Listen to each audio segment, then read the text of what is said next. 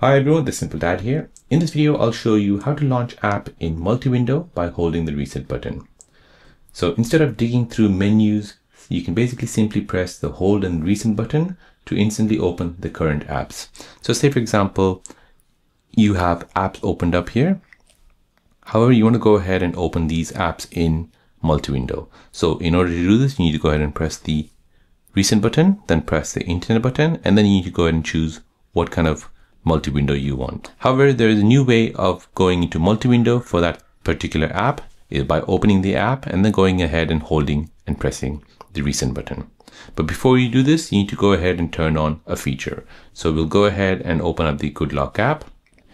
Now in the Good Lock app, you're gonna go ahead and scroll down and find MultiStar.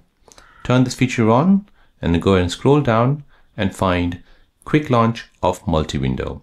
So here, this will allow you to press and hold the recent key, which is right here, to quickly access the multi-window. So we'll turn this feature on. Now we can go ahead and choose if you want to open it in split screen as default or in pop-up view.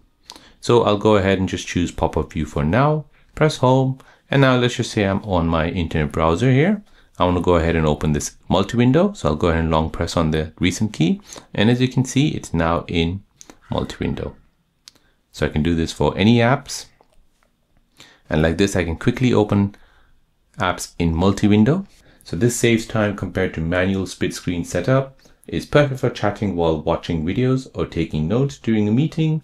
It feels natural and fluid for power users. So there you go guys, that is how to launch apps in multi-window quickly by holding the recent button. If you're new on the channel and you want to find out more about your iPhone, your Android phone, or any other social media apps, then don't forget to subscribe to this channel to become a part of the Simple Dad community. Hit the like button if you find this video useful.